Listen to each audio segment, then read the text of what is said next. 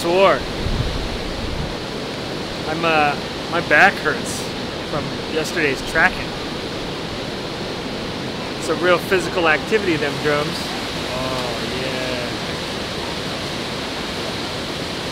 Is that because you're old, or is that because your no, beats because are so strong? because I uh, I fucking delivered, and every single beat had power.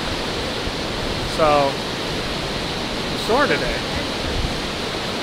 Okay, that's how it goes. You sore too? Yeah, I'm just as sore as Dan is. I play just as hard, and my lines are just as powerful. I'm not sore. I didn't work very hard yesterday.